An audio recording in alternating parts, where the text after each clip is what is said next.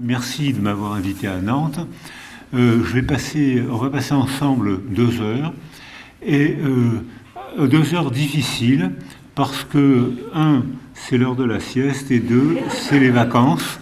Merci d'être là, et on va essayer quand même de réfléchir à l'importance du récit de soi. Pourquoi a-t-on tant besoin de se faire un récit de ce qui nous est arrivé? Ce récit, alors un, événement heureux, des événements malheureux, on n'en manque pas, les deux d'ailleurs, on n'en manque pas. Pourquoi est-ce que c'est si important de se les raconter, de les raconter à quelqu'un et de voir comment notre entourage parle de ce qui nous est arrivé? Alors voilà, ça c'est donc le schéma, le plan que je propose. Euh, vous voyez que là, il y a un 5 points, un plan rigoureux que je ne suivrai rigoureusement pas. C'est-à-dire que, dans un premier temps, il y a, je, vais, vous proposer l'idée qu'il y a un récit préverbal. Je fais exprès, récit préverbal. Je vais m'expliquer tout à l'heure. Ensuite, je dirais que le récit solitaire, c'est le tapis roulant qui nous mène au syndrome psychotraumatique et à la dépression. Donc on va essayer de l'éviter.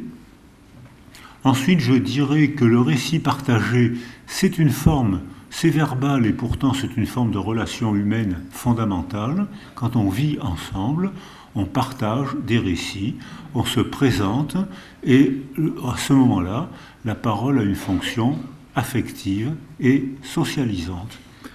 Ensuite, je proposerai quelques idées sur les récits collectifs.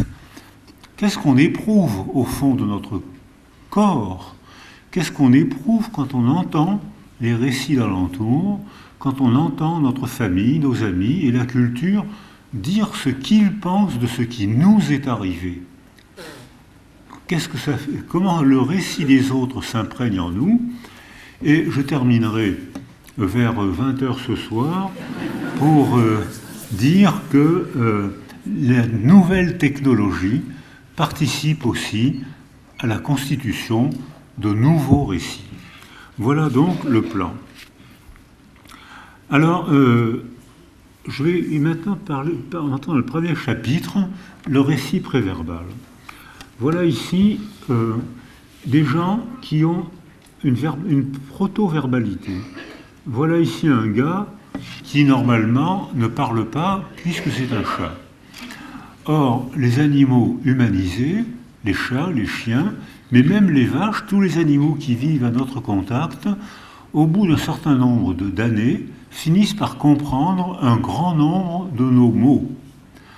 Alors, euh, par exemple, les vétérinaires avec qui je travaille, on a fait un groupe vétérinaire et linguistes associés. Eh bien, euh, les chiens arrivent à comprendre à peu près 200 de nos mots. 200 mots. Je connais beaucoup d'hommes politiques qui ont fait une carrière avec moins que ça. Il y en a un qui a été élu aux États-Unis il n'y a pas longtemps.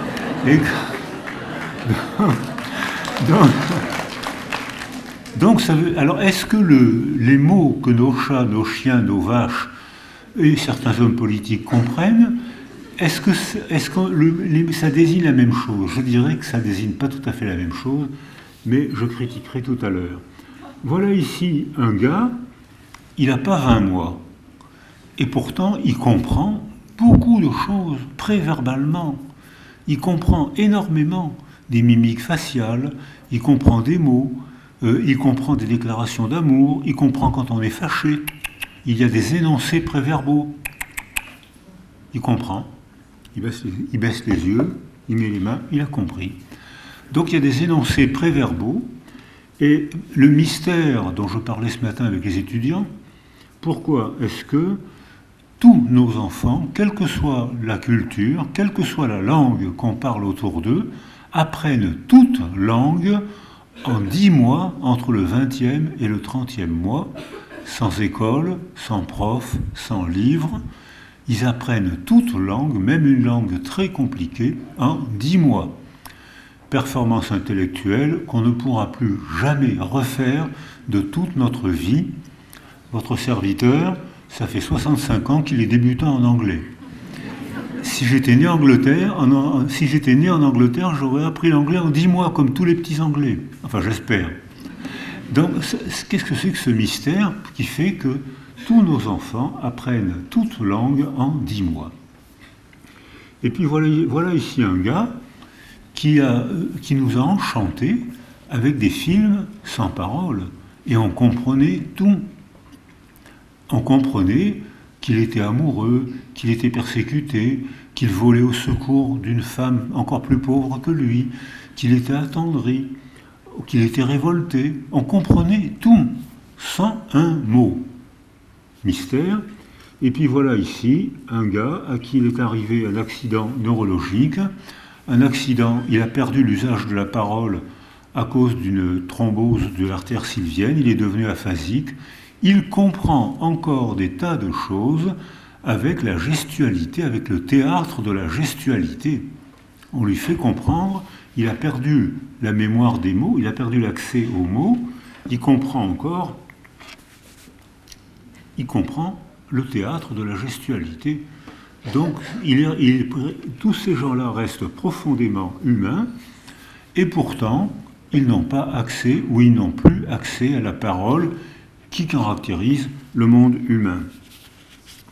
Alors, donc ça c'est un mystère. Mais donc ce matin je disais, il y a une mémoire sans souvenir. Alors n'ayez pas peur, je ne vais pas rester longtemps dans la neurologie.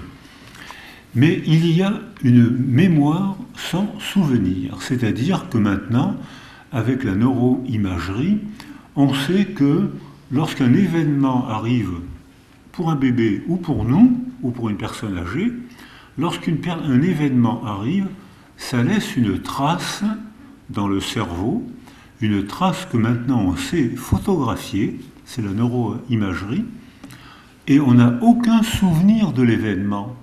Mais notre cerveau, lui, garde une trace de l'événement. Ce qui veut, on voit, on le photographie.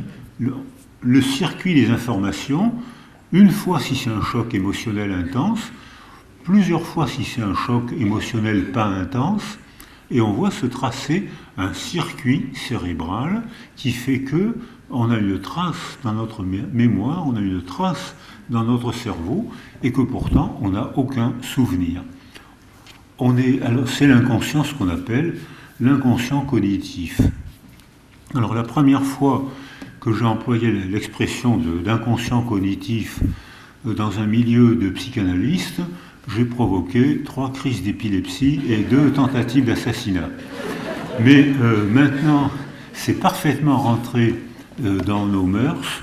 Il y a l'inconscient cognitif qui représente Yves Agide, qui est un grand nom de la neurologie, dit l'inconscient cognitif, c'est 99% des informations. On ne met en conscience, on ne met en souvenir moins de 1% de ce qui nous arrive. Actuellement, on est tous en train de lutter contre l'attraction terrestre. Notre corps dépense de l'énergie. On lutte, sinon on serait écrasé comme des crêpes par terre. On lutte, notre corps, notre cerveau perçoit, traite l'information et nous, on n'en a aucune conscience. Et c'est le cas de 99% de toutes nos informations. N'arrivent en conscience, ne font souvenir que moins de 1% de toutes les informations. Et ce 1% est fondamental parce que ce 1% constitue notre mémoire de soi. Je suis celui qui a connu telle situation. Je suis celle qui a connu tel traumatisme, triomphé de telle épreuve. Donc ce, ce presque rien dans notre mémoire, ce presque rien nous constitue. Et c'est ce qui, ce qui fait notre conscience, mais toute une autre part est organisée par notre préconscience, proto-conscience. Alors voilà, donc dans la mémoire préverbale, si un enfant est isolé précocement, au moment où son cerveau, les neurones de son cerveau synaptisent, c'est-à-dire envoient des connexions entre les neurones, 200 000 connexions par minute pendant les premières années. C'est-à-dire que à ce stade de notre développement, nos bébés, ou nous quand on était bébé, ont circuité notre cerveau avec toutes les informations du milieu, on n'en a aucune mémoire. On n'a aucune mémoire de nos premières années, on n'a aucune mémoire des années où notre cerveau a été circuité par le milieu. Vous avez bien entendu. Et c'est le, cerveau, quand, quand j'étais étudiant en médecine et en psycho, on nous apprenait que le cerveau était dans sa boîte crânienne. Mon œil, il est dans sa boîte crânienne et pourtant il est en relation constante avec le milieu, si bien que notre cerveau est sculpté par notre existence. Si on a au cours des interactions précoces, avant l'apparition de la parole, si on, est, se développe dans une niche affective bien stable et bien sécurisée, donc notre cerveau va bien se circuiter et les pays d'Europe du Nord qui ont fait leur réforme éducative et leur réforme politique en fonction des données des théories de l'attachement et des expérimentations biologiques et neuro-imagées des théories de l'attachement, ont fait leur réforme en fonction de ça il y a 15 ans et ils ont publié un retour sur investissement, dix ans après les réformes. Ces réformes consistent à retarder les enfants, retarder l'entrée à l'école, retarder les apprentissages, retarder les premières notes. Les notes apparaissent vers 11 ou 12 ans. L'entrée à l'école est très retardée. Les premières notes apparaissent à 11 ou 12 ans. Bilan de l'UNESCO, euh, l'évaluation PISA, vous savez, l'évaluation scolaire, bilan, pays d'Europe du Nord, médaille d'or. C'est eux qui obtiennent les meilleurs résultats. Les enfants qui sont retardés à 8-10 ans sont médailles d'or à l'âge de l'évaluation à 15 ans. Alors que nous, on a la politique contraire. Et les pays asiatiques ont une politique encore plus contraire parce que j'ai été invité, j'ai travaillé au Japon et en Chine l'hiver dernier et j'ai été stupéfait par la minorité de Japonais et de Chinois qui font des performances intellectuelles stupéfiantes, stupéfiantes, mais j'ai aussi été stupéfait par le nombre d'enfants largués, parce que c'est un sprint constant. Et beaucoup de Japonais m'ont dit, l'école chez nous est devenue une nouvelle forme de maltraitance. C'est-à-dire qu'on surstimule tellement les enfants ils obtiennent de bons résultats à un prix humain exorbitant. Suicide, psychopathie, troubles psychiques, troubles développementaux. Et ils sont bons, mais ils ne sont pas meilleurs que les Finlandais ou les Norvégiens qui ont la politique opposée. Sauf que les Finlandais et les Norvégiens, les pays d'Europe du Nord, ont de bons résultats et ont des jeunes adultes totalement paisibles. J'ai été stupéfait dans ces écoles d'Europe du Nord de voir que tout le monde souriait. Pas un cri, ni entre les garçons qui d'habitude en France se bagarrent dans les cours d'école, pas un cri, pas une bagarre, que de la politesse, que, que des sourires. Alors ça, les Japonais, pour les sourires, ils sont doués. Hein. Ça, ça, ils savent sourire. C'est vraiment le... Il y a le pays du, l'empire du milieu chez les Chinois et le pays du sourire levant chez les Japonais. Hein j'ai été charmé par la, politesse et le charme relationnel de ces gens. Mais le sourire masque souvent un désespoir intime et un nombre de suicides inacceptables et un nombre de psychopathies, de troubles du développement inacceptables. Est-ce que les bons résultats scolaires qu'ils obtiennent, est-ce que ça vaut un tel sacrifice humain À débattre, à discuter. Or, ensuite, on voit que euh, lorsque les enfants ont été privés, isolés, et privés d'affection, touchés, parlés, grondés, grondés, ça fait partie de l'éducation, on voit qu'il y a une atrophie du cortex préfrontal et que le volume est diminué, et ça se voit au scanner de ville. Là, je parle de résonance magnétique, c'est-à-dire d'outils très pointus, de capteurs techniques très pointus, très coûteux, mais au scanner de ville, on le voit sans difficulté. Hein. S'il y a des médecins neurologues dans la salle, l'atrophie bifrontale par carence affective, ça se voit dans, la vie quotidienne. Parce que les, neurones n'ont pas été stimulés par la vie quotidienne. Ces enfants sont isolés, abandonnés, isolés. On ne leur parle pas, on ne joue pas avec eux, on ne les gronde pas. leurs neurones préfrontaux ne sont pas stimulés, ils paraissent atrophiés. Et une des fonctions du lobe préfrontal, c'est d'inhiber l'amygdale rhinencéphalique, c'est-à-dire une amende de neurones qui est ici, et qui est le socle neurologique des émotions intenses, insupportables.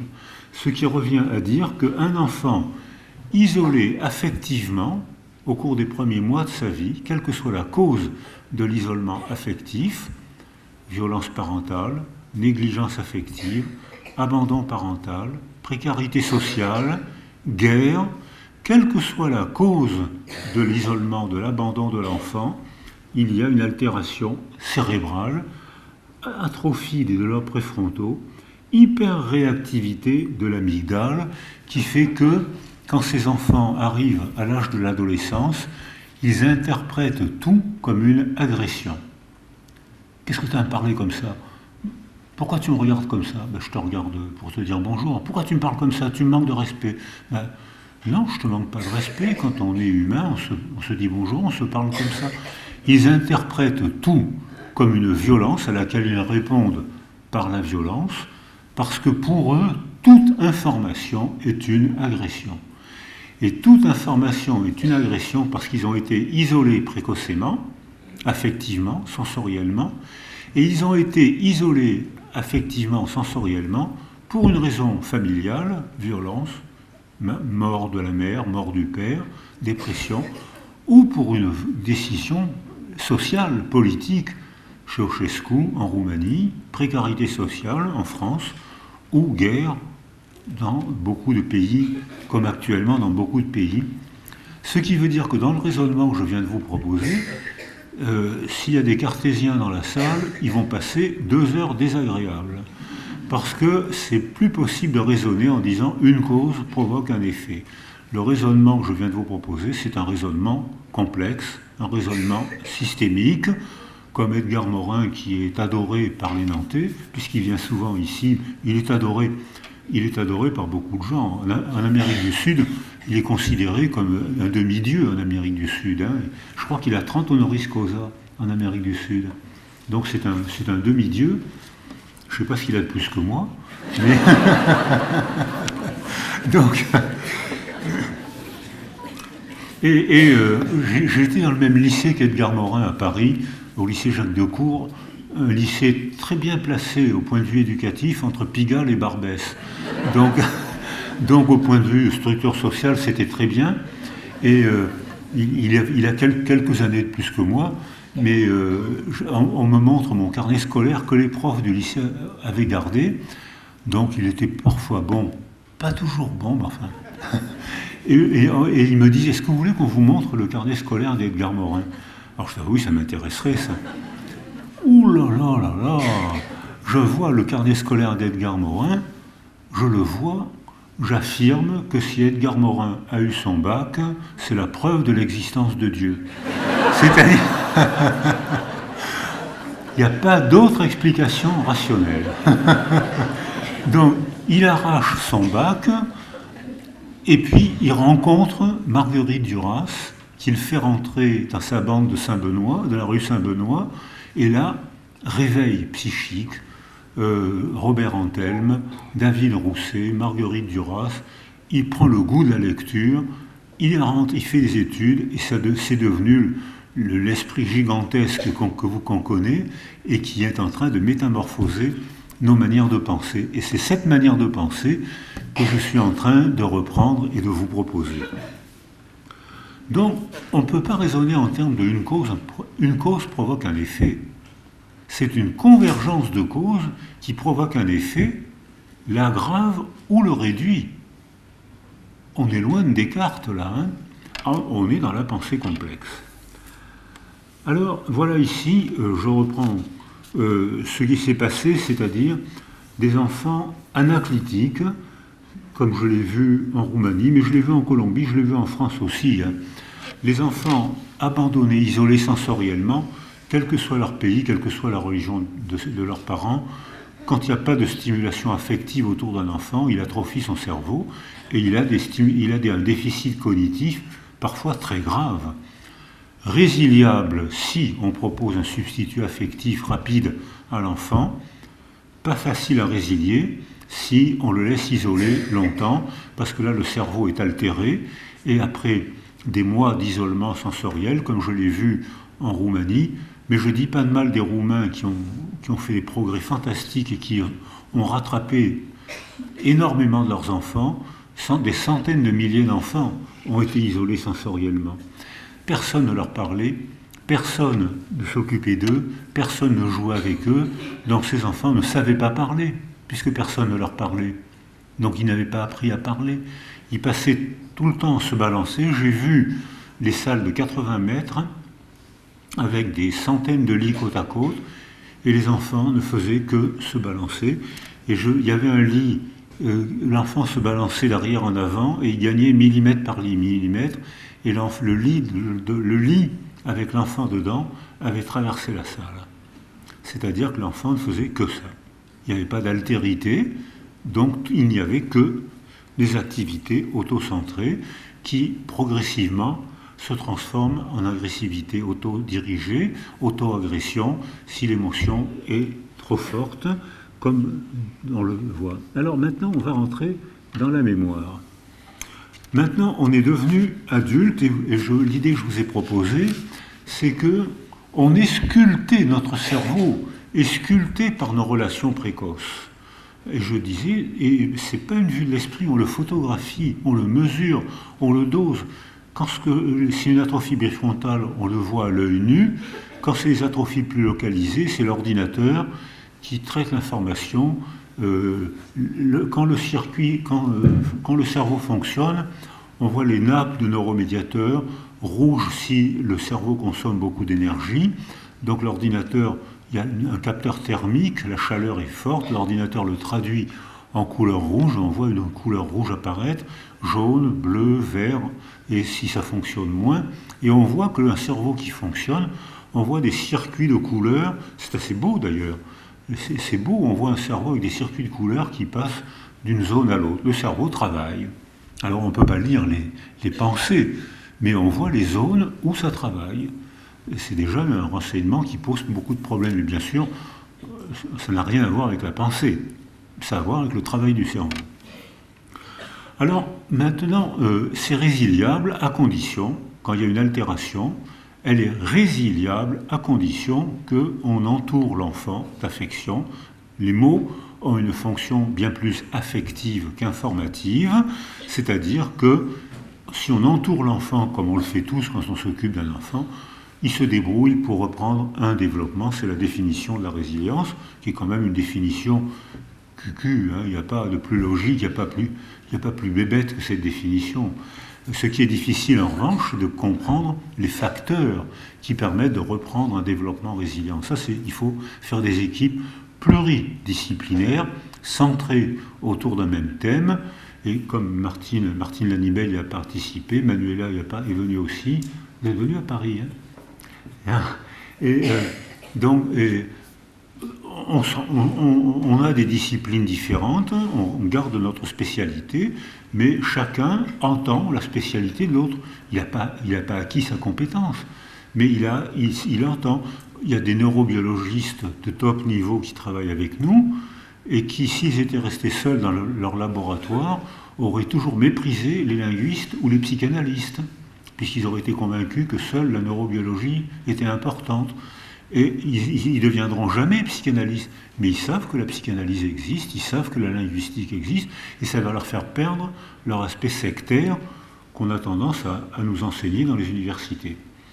Et à l'inverse, beaucoup de psychologues ou beaucoup de linguistes vont apprendre que la neurobiologie existe, qu'elle n'explique pas tout de la condition humaine, il est même il est même évident, nécessaire de dire que la neurobiologie existe, mais que ce n'est qu'une part de la condition humaine, parce que sinon on va leur laisser tout le pouvoir explicatif et une théorie qui est totalement explicative, une théorie qui se prétend totalement explicative, est une théorie totalitaire. Je suis en train de préparer ma conclusion de tout à l'heure. Donc, euh, oui, il y a de la biologie en nous tous. Non, il n'y a pas que de la biologie. Alors, donc, mais ça, il faut faire des équipes pluridisciplinaires pour savoir ça. Alors, ici, voilà le test que Denis Offert a fait passer. Alors, Denis Offert, psychosociologue, euh, fait une population de 77 adolescents âgés de 14 ans et il a fait passer une batterie d'une cinquantaine de questions. Puis il garde les réponses au questionnaire et 34 ans après, il a gardé les adresses des 77 adolescents, il envoie des lettres, des coups de téléphone et il en retrouve 67 sur les 77. Et il leur repose les mêmes 50 questions. Mais lui, il a les réponses. Les ex-adolescents, âgés à ce moment-là de 48 ans, ont oublié les réponses qu'ils avaient faites 50 ans avant. Ils ont complètement oublié. Mais Denis Offert a les réponses sous les yeux. Et j'en ai isolé trois pour l'exposé d'aujourd'hui. À l'âge de 14 ans, est-ce que tu t'ennuies à l'école? 25% des adolescents répondent Je m'ennuie beaucoup à l'école à l'âge de 48 ans. Est-ce que vous vous êtes beaucoup ennuyé à l'école? Ils sont 58% à dire Qu'est-ce que je me suis ennuyé à l'école? Euh, Est-ce que tu es populaire à l'école? À l'âge de 14 ans, 25% disent Oui, ça va, j'ai des copains, des copines, je me débrouille. À l'âge de 48 ans, ils sont 53% à dire Qu'est-ce que j'étais populaire à l'école? Les femmes étaient folles de moi, j'étais. Donc je n'avais que des amis c'était les, il commence l'exposé où il y avait encore des, punitions corporelles étaient autorisées à l'école, et c'était l'époque où les enseignants avaient le droit de battre les enfants. Alors il y a des gens dans la salle euh, qui, comme moi, qui sont de la qualité d'avant-guerre, et euh, qui, euh, qualité, on, disait ça des camemberts, vous vous rappelez la qualité avant-guerre. Et donc moi je suis un, une camembert d'avant-guerre, et euh, on, il disait, tu as compris le théorème de Pythagore? Euh, Viens ici, mets tes mains comme ça. Bang, on recevait un coup de règle sur le bout des doigts, ça faisait très mal, et hop, on comprenait le théorème de Pythagore. Alors, ces, méthodes éducatives ne sont plus possibles aujourd'hui, et euh, les résultats scolaires d'ailleurs déclinent, vous avez sûrement remarqué. donc, donc et, quand on, euh, Denis Offert pose Est-ce que tu es humilié par ces punitions corporelles? 82% des adolescents répondent Je suis humilié d'être battu en public. À l'âge de 48 ans, ils ne sont plus que 30% à dire Oh, j'en ai vu d'autres, hein, c'est pas bien grave tout ça. Ce qui veut dire que notre existence de la vie quotidienne passer des concours, étudier, travailler, avoir des échecs comme tout le monde, euh, échecs affectifs, échecs sociaux, échecs sportifs, enfin des choses graves quoi. Euh, le fait, notre existence modifie la manière dont on se représente nos souvenirs. Vous avez bien entendu, nos souvenirs évoluent avec notre âge et avec nos conditions d'existence. Si j'écris ma biographie à l'âge de 20 ans, je ne vais pas du tout faire la même autobiographie qu'à l'âge de 40 ans, ou à l'âge de 60 ans, ou à l'âge de 80 ans. Je ne vais jamais mentir, ça ne sera jamais la même autobiographie, parce que ce qui est important à 20 ans n'est pas ce qui est important à 60 ans ou à 80 ans. Ça a été remanié par mon... Quand je pense que j'ai souffert, elle m'a quitté, j'avais 14 ans, elle m'a quitté, j'ai terriblement souffert heureusement qu'elle m'a quitté. Et pourtant, qu'est-ce que j'ai souffert? Donc, voilà, on, remanie constamment la représentation de son passé et de son, autobiographie. Alors, euh, avec Michel Delarge, on a fait à l'université à Toulon euh, des une expérimentation très simple. Euh, Michel commence un cours et un compère qui, pas, qui ne fait pas partie des étudiants rentre dans la salle et dix minutes après le cours, il provoque un scandale et euh, on convient des mots qu'il doit dire et il est filmé pendant qu'il provoque le scandale Et euh, alors il y a des mots convenus et on, le filme pour savoir quels sont les vêtements. Et, euh, Michel qui fait le cours, Michel Delage qui fait le cours, a pour consigne d'augmenter la parole pour empêcher les étudiants de parler ensemble. Et le gars provoque son scandale en disant Qu'est-ce que c'est que ces idioties? Je croyais venir à un cours d'anthropologie espagnole et je viens à un cours de psychologie sans intérêt. Et il part en claquant la porte. Mot convenu, vêtements convenus, Michel force la voix, les étudiants grattent et Michel finit son cours. Un mois après, Isabelle passe un questionnaire. Vous vous rappelez le cours de, de M. Michel sur le tel truc? Je me rappelle. Voulez-vous répondre à ces questions? Alors parmi les questions, c'est comment était-il habillé, quel mot a-t-il dit, et euh, comment vous interprétez cet événement? Il y, a 50, il y avait 50 étudiants dans la salle. C'était des études de, euh, psychologie, donc il y avait une majorité de filles. Donc elles attachent de l'importance aux vêtements. Euh, sur les 50 étudiants, un mois après, il y en a quatre qui disent il ne s'est rien passé. On a la preuve que dix minutes après le cours, ils étaient déjà en sommeil profond. Donc, 40, 46 répondent comment était-il habillé C'est pour ça que je dis, je souligne l'importance des femmes. Alors, invraisemblable, il avait un pull vert. Ben non, il avait un pull blanc avec un col vert. Ben non, il avait un pull rouge. Ben non, aucune, cohérence. Il, avait un chignon, mais non, il avait les cheveux sur le côté, mais non, il avait les cheveux courts. Il y en a même une ou un qui a dit qu'il avait un casque moto. Vous voyez le gars qui vient prendre un cours de psycho avec un casque de moto. Un, coup, c'est si vite arrivé un mauvais coup, mais enfin quand même. Alors, comment expliquer ça? Et alors, surprise, les mots avaient été mieux retenus que les images. Contrairement à ce qu'on avait prédit, on s'attendait à ce que les images soient mieux retenues que les mots, et ça a été le contraire. Je ne sais pas l'expliquer. Alors, on dit avec Michel, ben, il faut il faut qu'on refasse ça de manière un peu mieux organisée pour essayer de comprendre pourquoi les mots et les images n'ont pas la même mémoire. Alors voilà le dispositif expérimental qu'on a fait.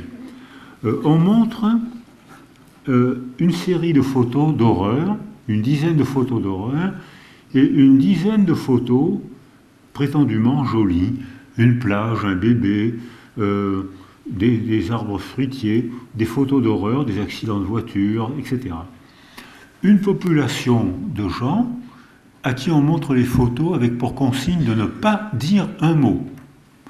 On dit aux gens, on ne dit pas un mot. On passe les photos, sans dire un mot. Une autre population à qui on montre les mêmes photos avec pour consigne de commenter les photos. Vous voyez cette photo-là, qu'est-ce que vous en pensez? Cette photo-là, qu'est-ce que vous en pensez? Les gens rentrent chez eux, on les revoit un mois après monsieur, madame, population qui n'a pas parlé expérimentalement. Vous vous rappelez les photos? Oh Oui, je me rappelle. Est-ce qu'il y avait des photos d'horreur? Oh Oui, il y en avait. Essayez de décrire les photos. De quoi Qu'est-ce que vous vous souvenez? Comment étaient décrivez ces photos? Ah, il y avait une femme qui était balafrée de tous les côtés. C'était profond. Elle avait les yeux crevés, le nez cassé. Mais est-ce qu'il y avait aussi euh, des photos, euh, des belles photos? Oh, oui, je crois qu'il y en avait une ou deux, oui. On reprend la, population de gens qui avaient pour consigne de parler, de commenter les photos. Monsieur, madame, vous vous rappelez les photos? Ah oui, très bien. Est-ce qu'il y avait des photos d'horreur? Oui, je crois, je me rappelle une photo, il y avait une dame au visage balafré, mais c'était une coupure superficielle. Il suffisait de lui passer un gant de toilette et de faire une petite un point de suture. C'était rien du tout. Mais est-ce qu'il y avait des photos, des belles photos aussi? Ah oui, je me rappelle une photo il y avait un champ de coquelicots rouges. Le fait d'avoir parlé tout de suite après l'événement, d'avoir montré l'image de l'événement, le fait d'en avoir parlé, avait modifié la représentation du passé. C'est-à-dire que les récits avaient été induits bénéfiquement par le fait d'en avoir parlé, maléfiquement par le fait de ne pas en avoir parlé. Alors là, on a un, petit dispositif expérimental qui nous permet de proposer l'idée que quand on a été vulnérabilisé par un accident de la vie, un trauma, un isolement affectif, une perte réelle qui nous a fait réellement souffrir, dans le réel, le coup, on l'a reçu, la blessure, on l'a reçu, l'orphelinage, la guerre, la précarité sociale, on en a souffert dans le réel. Dans la représentation du réel, on a une possibilité, un degré de liberté qui nous permet, si on s'y attelle, qui nous permet de remanier la représentation du réel par le récit qu'on en fait. Et là, on a un degré de liberté. Ou on a un degré de maléfice, parce qu'on peut se taire, ou même on peut aggraver la souffrance si on, plusieurs fois de suite, on dit oh, cette femme, la pauvre, elle s'en remettra jamais, la pauvre, cette femme, elle s'en remettra jamais, oh, elle s'en remettra jamais, cette femme. C'est-à-dire qu'on révise la mémoire traumatique et on aggrave le syndrome psychotraumatique. Donc je suis dans un raisonnement systémique, ce n'est pas une cause qui provoque un effet, c'est une convergence de causes qui peut réparer l'effet, résilier ou aggraver l'effet si on répète en ayant perdu la faculté de juger et la faculté d'élaborer verbalement, élaborer verbalement pour en faire un récit partagé avec quelqu'un qui m'inspire la confiance ou quelqu'un qui me fait taire. Ou si je vis dans une culture qui me fait taire, ou au contraire si je vis dans une culture qui me donne la parole. Alors voilà ici un exemple de culture qui me donne la parole. Georges Perec, que, j'espère que vous l'avez lu. Si vous ne l'avez pas lu, euh, l'avenir vous appartient. Euh, Georges Perec euh, est né en 1936 à Paris et ses parents, sa famille, disparaît pendant la guerre. Et dans l'après-guerre, il ne sait, pas, sait pas pourquoi ses parents, sa famille a disparu, il ne sait pas qu'il est juif, ça ne veut rien dire pour lui, et il ne sait pas pourquoi sa famille a disparu. Euh, sauf qu'il est tout seul. Il est recueilli par une tante et personne ne parle de ce qui s'est passé. Sa famille, la culture française de après des années après-guerre, personne ne parle de ce qui s'est passé. Sa famille, ce qui lui restait de famille, parce que c'était trop difficile à dire, et la France des années d'après-guerre, parce que la France, il fallait se reconstruire. La France n'avait pas été glorieuse, elle avait été en famine, elle avait, l'armée française était partie en courant devant l'armée allemande, euh, la collaboration n'était pas un moment de fierté de l'histoire française, et il fallait reconstruire le pays. Et ce dont je témoigne, c'est qu'il y a eu 30 années de gaieté facile, de gaieté dans la rue. Les gens étaient follement pauvres c'est l'époque où la CGT demandait aux ouvriers de travailler pendant le week-end et de faire des heures supplémentaires gratuites. CGT. Mais dans, dans le contexte des années d'après-guerre, c'est ce qu'il fallait faire. Il fallait reconstruire la France, il fallait inventer la sécurité sociale dans un contexte, dans, un contexte où il y avait des tickets. Il y avait des tickets de rationnement pour, pour, manger. On avait... Et dans ce contexte-là, la CGT invente la sécurité sociale.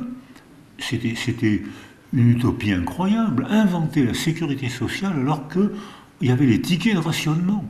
Et ça a marché, et ça a augmenté l'espérance de vie et la qualité de vie pour tout le monde. Et donc c'était une utopie merveilleuse, mais c'était une utopie réaliste, réalisée. Et donc il fallait le faire. Mais en réalisant cette utopie, cette belle utopie, ça a fait taire toutes les victimes de la guerre de 40.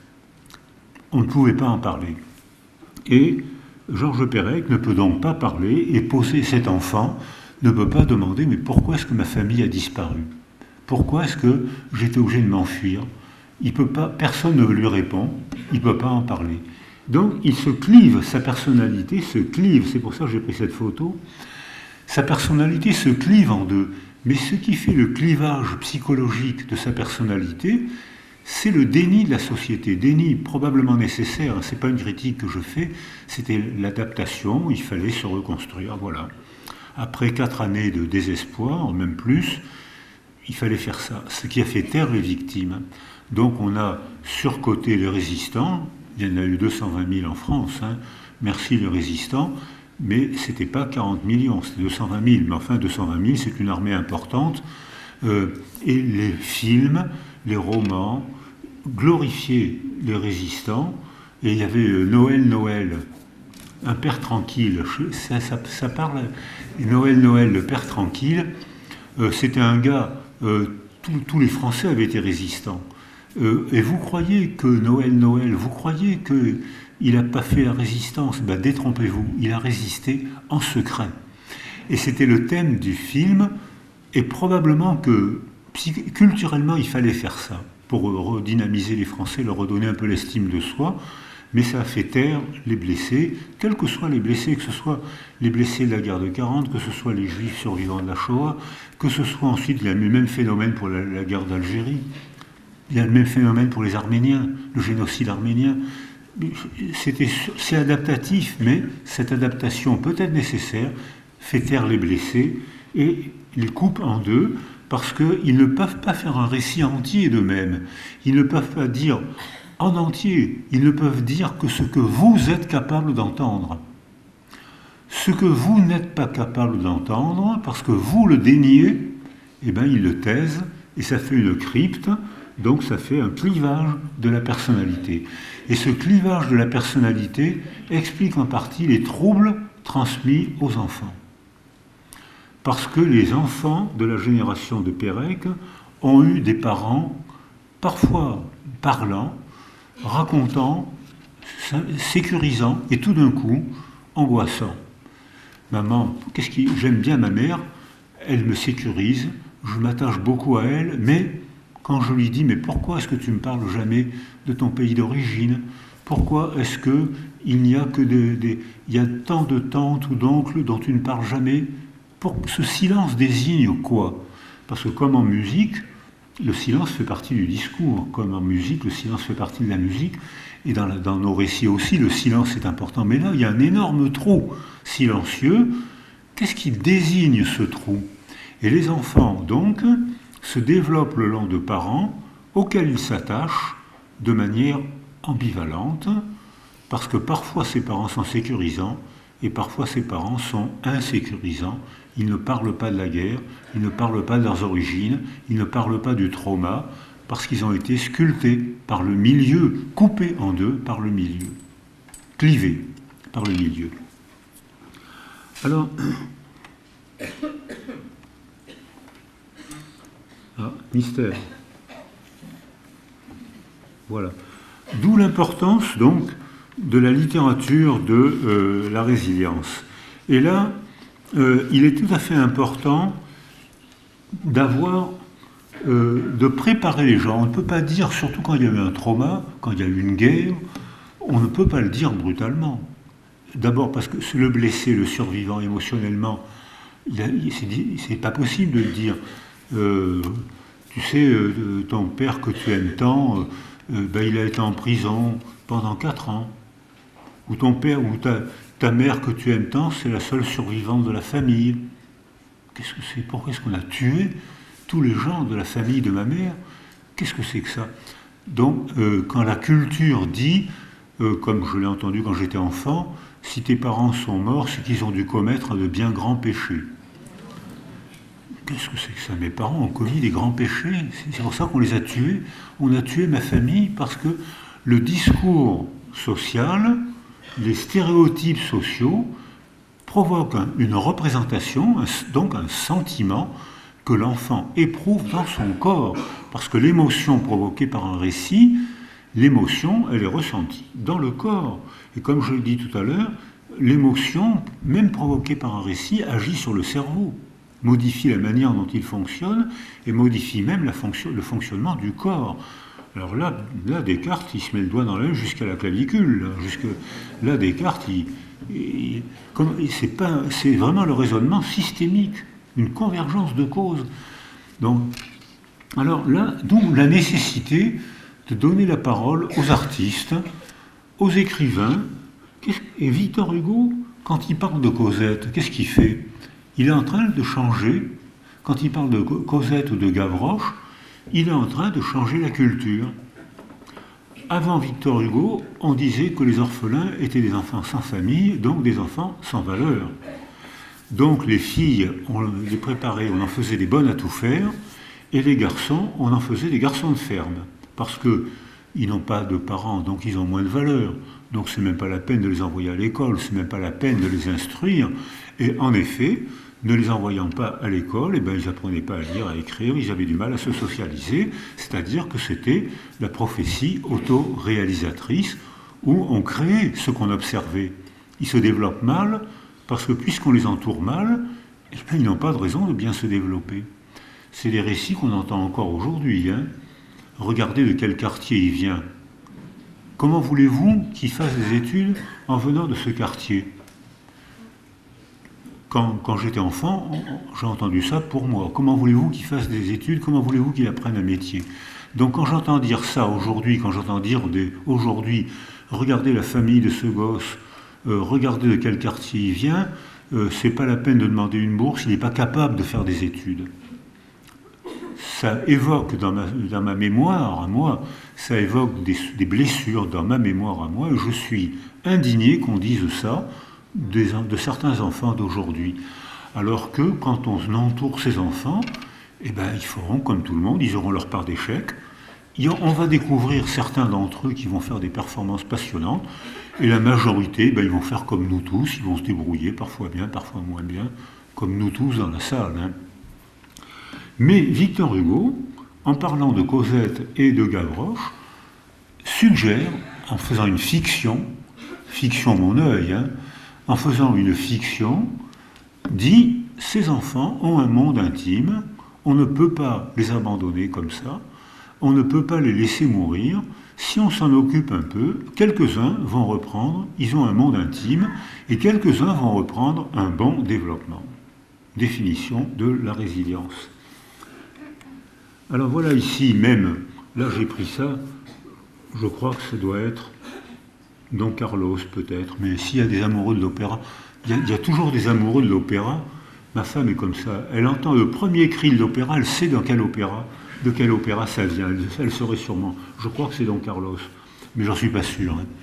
Et là, on voit que si vous, allez à l'opéra, les femmes à l'opéra, qu'est-ce qu'elles ramassent? Alors là, vraiment. Et, mais c'est pas dit de manière géniarde, c'est dit de manière sublime. Ah, c'est extraordinaire. On pleure, c'est magnifique. Il n'y a que de la mort, il n'y a que de l'horreur, c'est magnifique. Bon, c'est métamorphosé par la musique, par le livret. Je ne gémis pas de mon passé, j'en fais une représentation lyrique qui va vous émouvoir. Je peux parler avec vous, je peux transformer un trauma en représentation émouvante, comme l'a fait Victor Hugo, Charles Dickens, comme l'ont fait ces écrivains, comme le font euh, comme le fait l'opéra italien ou l'opéra russe. L'opéra russe est plus social. Hein. Euh, c'est-à-dire que déjà, c'est euh, les teutons, euh, Yvan le Terrible qui, qui écrase les teutons. Les teutons, c'est déjà, déjà plus collectif. Alors que dans l'opéra italien, c'est vraiment, vraiment des gens qui connaissent des, de merveilleuses tragédies. Alors on voit que finalement, la manière de parler maudit d'un trauma autour de soi les récits d'alentour modifie la manière dont le blessé éprouve son trauma. Parce que nous, êtres humains, on peut souffrir deux fois. On peut souffrir une première fois du coup qu'on reçoit dans le réel, la fracture de jambe, l'humiliation, la déportation, la prison, euh, la faim, etc. On souffre dans le réel. Et on peut souffrir une deuxième fois de la représentation qu'on se fait de ce qui nous est arrivé. Si bien que si je suis laissé seul, je rumine et j'aggrave la, souffrance, ma deuxième souffrance, si j'entends autour de moi dire Oh ben tu l'as bien cherché, ou tu fais partie d'un groupe social inférieur, c'est normal que tu te développes mal parce que tes parents viennent d'une famille euh, de mauvaise qualité, je souffre, je ne me sors pas de la souffrance. Le récit m'empêche de me sortir de la souffrance. Mais si je vis dans un récit qui métamorphose et qui dit Cosette, mais elle a un monde intime, Cosette, elle a des émotions, si on s'en occupe, elle va, elle va reprendre un développement. Cette tragédie-là, oui, c'est une tragédie, bien sûr, mais on peut faire une représentation lyrique. On a acquis un degré de liberté. On peut remanier la deuxième souffrance. On peut remanier la représentation du malheur qui nous est arrivé. On ne remanie pas le malheur. Le coup, on l'a reçu. La mort de nos parents, euh, l'agression sexuelle, euh, euh, la fracture de jambe, on, l'a reçu, on l'a eu. On remanie la représentation qu'on a du traumatisme ou de la blessure. On a souffert une fois, on ne souffre pas une deuxième fois. Et on souffre beaucoup plus de la deuxième fois que de la première fois, parce que euh, on, a fait des neuroimageries. Euh, c'est étonnant de voir par exemple comment les adolescents qui ont été isolés précocement et qui ont acquis ce facteur de vulnérabilité neuro-émotionnelle dont je vous parlais tout à l'heure, hein, rappelez-vous, les gens qui ont acquis ce facteur de vulnérabilité neuro-émotionnelle, ils peuvent le remanier sous l'effet des discours sociaux qu'on entend. Là, j'ai pris l'exemple euh, du radeau de la Méduse. Ce tableau, ce qui est une représentation picturale, a remanié un comportement. Avant le radeau de la Méduse, avant le naufrage de la Méduse, au moment du naufrage de la Méduse, le capitaine et les hommes d'équipage mettent les canottes à la mer, se sauvent et abandonnent l'équipage. Et, les survivants font un radeau et ça donne la réalité transformée en mythe du radeau de la Méduse. Et énormément de gens vont voir ce tableau, et ici, là, je ne sais pas si on le voit, il y a une toute petite voile à l'horizon. Et on comprend, c'est une représentation picturale, qui est un récit, une image sémantisée. C'est une image qui dit ces gens, ces hommes, ces femmes innocents meurent sur le radeau de la Méduse parce que les professionnels les ont abandonnés, les ont lâchés. Et ça provoque un scandale, ce, tableau, ce tableau-là provoque des récits, provoque un scandale et rentre dans la culture une nouvelle opinion. Quand il y a un bateau fait un naufrage, le professionnel, le capitaine et l'équipage doivent d'abord s'occuper des passagers. Et ensuite, et le capitaine quitte le bateau le dernier. Et ça a été un changement comportemental, ça a été un changement dans la culture. Le tableau pictural provoquant des récits, provoquant des débats, a changé la morale et l'occupation de ces récits. Alors voilà, ça, donc je vais cinq minutes avant les questions. Euh, on sait que les êtres humains, monsieur et madame Sapiens, euh, sont. monsieur, euh, Homo habilis est au monde depuis 2 millions et demi d'années. Or, nous, êtres humains, on ne parle que depuis 200 000 ans. Ce qui veut dire que pendant 2 millions 300 000 années, nous, êtres humains, on a été au monde sans parler. On communiquait comme les animaux. On communiquait par euh, des mimiques, des postures, euh, des cris, ont communiqué comme les animaux. Donc ça veut dire que ça veut dire que on a mis, on a mis 2 300 000 années avant d'inventer le, le, truc du signe, de la, convention arbitraire du signe de la main, du, du dessin, du, des tambours. On communiquait par tambour avant de savoir parler avec un code, on communiquait par des images euh, avant de savoir parler, avant d'inventer l'arbitraire du signe qui nous permet d'inventer les mots et de faire des récits. Or, on le sait ça parce que il n'y a pas eu de mutation génétique et on voit apparaître sur la face interne du lobe temporal gauche, on voit apparaître l'empreinte de l'artère sylvienne. Donc on sait que parlant, ça a provoqué une hypertrophie des deux lobes temporaux qui ont marqué l'empreinte à la face interne de l'écaille temporale, c'est la zone du langage. On sait que chez les êtres humains, on sait que c'était les êtres humains parce que l'ADN nous dit c'est les êtres humains, c'était les êtres humains qui ne parlaient pas. Quelque chose s'est passé de culturel, d'une entente qui fait qu'on a inventé le code, l'arbitraire du signe, on s'est mis à parler, notre cerveau s'est développé de manière différente il y a 200 000 ans, et à ce moment-là, on a créé le monde de l'artifice, artifice de l'outil et artifice du verbe. On crée le monde humain. Et ces récits,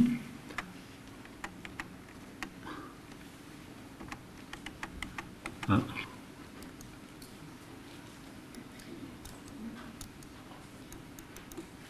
voilà. Et ces récits sont métamorphosés parce que euh, quand l'imprimerie a été... Alors je, vais je vais terminer mon exposé en parlant de la manière dont l'écriture a modifié notre manière de se représenter le monde. Parce que l'écriture aussi, c'est un récit. Euh, il y a, on va dire, 3000 ans, à ce qu'on appellerait aujourd'hui l'Irak, c'est-à-dire euh, Sumer, on ne sait pas qui, invente l'écriture sumérienne. C'est-à-dire, euh, quelqu'un dit, ben, on va prendre deux blocs d'argile, un morceau de roseau, et on va se mettre d'accord sur les signes, et on va faire un contrat commercial. Euh, j'échange euh, un chameau contre deux chèvres et trois kilos de bananes. J'invente un truc. On va échanger nos on va échanger nos calculis, nos calculus, calculi, et j'aurai la preuve d'un contrat. On le fait sécher l'argile au soleil, et ça y est. Et ça veut dire que, en inventant un arbitraire du signe écrit, on matérialise la pensée. On lui donne le fait d'écrire, donne une impression de matérialité supérieure à la vocalité. On dit les paroles s'envolent, les écrits restent. Et probablement, c'est parce que l'écrit est presque plus matériel, alors qu'en fait, l'écriture représente un monde totalement absent, mais on a la trace écrite, matérielle. Ensuite, on a l'invention de l'imprimerie. Alors là, je retrouve la pensée complexe, c'est-à-dire que l'imprimerie, invention technologique élémentaire, premier, deux best-sellers. Premier best-seller, la Bible, Deuxième best-seller, Le marteau des sorcières. Comment torturer quelqu'un pour obtenir une conversion sincère au christianisme? J'ai été en Colombie il n'y a pas longtemps, ou à Carthagène, où il y avait l'Inquisition chrétienne, et j'ai vu les instruments de torture facilités par l'imprimerie pour obtenir la conversion sincère des Indiens je peux vous assurer que je comprends, quand on voit les instruments de torture, je, peux vous assurer qu'on se convertit sincèrement au catholicisme ou à n'importe quoi. Donc, effet bénéfique, on va vivre ensemble. Effet bénéfique, j'habite à Toulon, port de guerre, il y a des marins, moins qu'à Nantes, mais il y a des marins aussi d'ailleurs, il y, a, beaucoup de gens qui viennent de Nantes et de la région qui font une carrière militaire, mais vous savez où ils prennent leur retraite? À Toulon. donc, euh, euh, on retrouve les archives des militaires et on retrouve avant l'invention de l'imprimerie, le seul maître, il y avait des rapports de dictature indiscutables parce que le seul maître à bord après Dieu, c'était le capitaine. Pour une raison bien simple, c'est que on ne pouvait pas se révolter contre le capitaine. Si on le balançait par-dessus bord, tout le monde mourrait, puisque c'était le seul à savoir faire le point. Et dès l'instant où l'imprimerie est inventée, un homme d'équipage comprend rapidement comment il faut faire pour faire le point. Il a des feuilles, il hésite, il parle avec quelqu'un, il fait son travail scolaire, il apprend, il apprend sans peine comment il faut faire le point. Dès que le savoir est partagé, on peut balancer le. Si le capitaine est dictatorial, on peut le balancer par-dessus bord. Il y aura toujours un homme d'équipage qui saura faire le point et ramener le bateau à bon port. le partage du savoir est le premier pas vers la démocratie. Donc, effet bénéfique de l'écriture, partage du savoir, effet maléfique de l'écriture, euh, le marteau des sorcières. Même raisonnement pour Internet aujourd'hui, effet bénéfique pour Internet, en temps réel, on arrive à savoir des choses stupéfiantes. C'est de la magie. C'est de la magie. Je, me souviens que quand j'étais interne, il y avait des gens qui prétendaient, c'était l'époque où les, antibiotiques faisaient des prouesses. Ils font encore, ils sont bénéfiques, mais on en a trop donné et ils commencent à être moins efficaces. Mais dans les années 55-60, les ont donné des toutes petites doses d'antibiotiques qui étaient prodigieusement efficaces. C'est comme ça qu'on a, fait disparaître euh, la syphilis. Ah, maintenant, elle réapparaît parce que justement, euh, il y a des gens il y a d'autres facteurs, d'autres variables. Mais pendant un moment, on a vraiment cru qu'on avait fait disparaître la syphilis. Et puis maintenant, elle réapparaît. Or, euh, on voit effet bénéfique. J'entends quelqu'un, un prof, dire la schizophrénie est donc euh, d'origine bacillaire et euh, c'est un traitement euh, antibiotique qui va guérir la schizophrénie. Tous les jeunes psychiatres me disent Mais qu'est-ce que tu racontes? Je dis Mais oui, j'ai entendu le professeur Intel dire ça, des grands noms de notre disciple. Qu'est-ce que mais je te crois pas. C'est pas possible qu'un tel ait dit qu'un antibiotique allait guérir la schizophrénie. C'est pas possible. Je tape sur cette redoutable machine et je vois presque en temps réel apparaître les publications du gars prouvant que euh, il avait bien, je vois en temps réel, mais je vois en même temps apparaître sur ces machines qui sont des, des, boîtes à ordures. C'est devenu en même temps des boîtes à ordures, des diffamations incontrôlables sont mises sur ces machines. Et euh, quand j'ai remis le rapport sur le suicide à Jeannette Bougram, j'ai un peu tapé sur euh, l'Internet pour savoir ce que les autres pensaient euh, du suicide, et surtout dans d'autres cultures, au Japon où il y a beaucoup de suicides, en Chine, ce que disaient les enquêtes, j'ai été en relation instantanée avec les universitaires qui travaillaient sur le suicide au Japon et en Chine. Donc c'est une machine merveilleuse. Je tape un peu au hasard, une dame, sa fille de 17 ans, se suicide. La dame dit, je l'entendais chantonner dans sa chambre, je l'appelle et je lui dis Viens, la table est mise, viens manger. J'entends le silence, je m'étonne, je monte dans sa chambre, je la trouve pendue. Elle éprouve le, besoin de dire ce, traumatisme terrifiant. Elle éprouve le besoin de le mettre sur Internet. Commentaire Pauvre conne, t'avais qu'à mieux la surveiller. Donc, on, donc, on, voit, c'est la merveille et l'horreur, comme, comme comme l'imprimerie. Et voilà un peu la nécessité du débat démocratique. Je vais terminer là-dessus. Lorsque on fait un débat, on ne peut pas être d'accord. On n'a pas le même sexe, on n'a pas les mêmes intérêts, on n'a pas les mêmes histoires, on n'a pas la même religion, on n'a pas les mêmes cultures. Comment voulez-vous qu'on soit d'accord? Comment? Donc on ne peut que se mettre d'accord.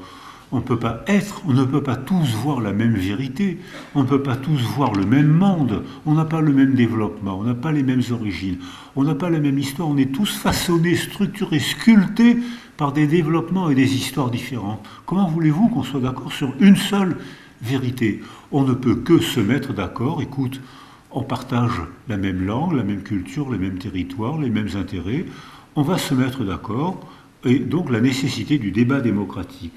Mais ça, ce n'est pas un, débat démocratique, c'est un langage totalitaire. C'est il n'y en a qu'un qui a la vérité et il va imposer sa vérité et tous ceux qui ne seront pas d'accord seront déportés, rééduqués, torturés, excommuniés. Euh, c'est le langage totalitaire. Et ça, ça existe et un très grand nombre de dictateurs ont été élus démocratiquement. Et encore aujourd'hui, au Proche-Orient, un très grand nombre de dictateurs ont été élus démocratiquement, j'espère que ça ne va pas nous arriver. Donc, donc, voilà ici le langage totalitaire. Donc je vais terminer quelques-uns. Voilà ici l'idée que je vous propose, c'est que il faut distinguer ce qui est dans le réel, et là il faut des scientifiques pour traquer le réel avec des méthodes scientifiques, et il faut distinguer ce qui est dans la représentation du réel, où là on a un degré de liberté, donc de responsabilité. Donc là on peut agir par nos récits, par nos représentations, pour remanier le réel intentionnellement, pour vivre ensemble. Alors là je me suis photographié, et pour vous dire que je me vois dans le réel à peu près comme vous me voyez, mais j'ai réussi aussi à photographier la représentation que je me fais de moi, l'idée que je me fais de moi, et cette idée, la voilà. Merci de m'avoir écouté.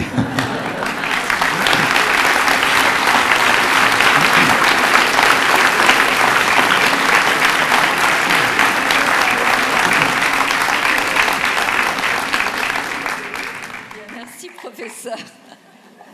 Vous êtes magnifique, vraiment. C'est ressemblant. Hein C'est très ressemblant. Je ne savais pas que j'avais déjeuné avec ce bel homme. Oui, j'avais la, la, mèche de cheveux qui me tombait dans, les yeux.